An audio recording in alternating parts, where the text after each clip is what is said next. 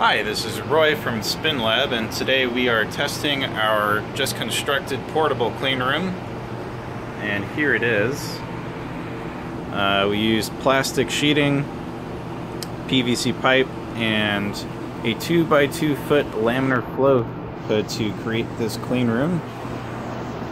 And uh, as you can see, uh, the top here is sealed with uh, gaffer tape all the way around. Okay. And we've left maybe half a foot of uh, clearance on the bottom of the clean room to prevent the uh, canvas from billowing out too much. Uh, we will be testing the ability of this clean room to keep out uh, very small particles, uh, smaller than you can see, 100 times smaller than the thickness of human hair. Uh, we have uh, this instrument that can read uh, particles from 0.3 microns to 5 microns.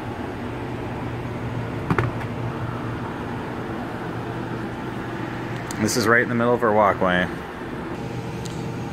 In order to take measurements to count particles uh, using the particle counter inside the clean room, uh, one has to wear clean room garments because humans are the number one source of particle contamination. Adam will be gowning up to going to the clean room to do the particle uh, count measurements. So Adam, say hi. Hello. Okay. And first step, putting on gloves. Alright, so the second step is optional for most people, but since I have this beard, I need to put a beard cover on. If I can get one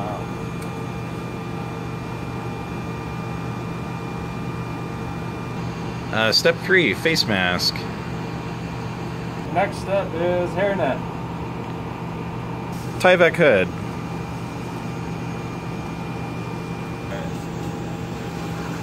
Next step is putting on the coveralls.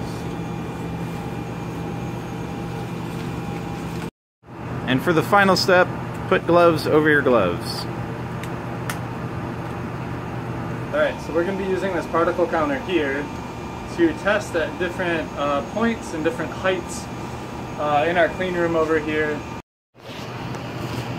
All right, go ahead. Like Dustin Hoffman.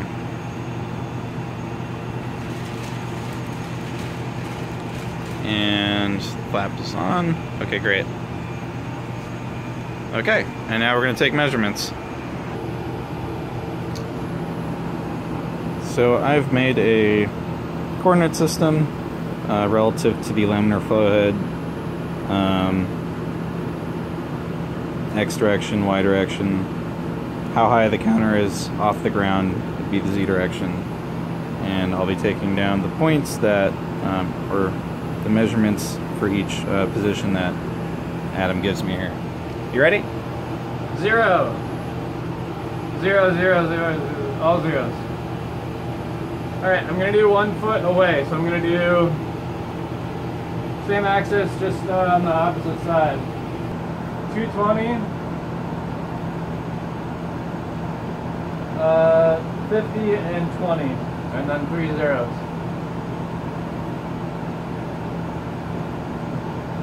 It's not too bad.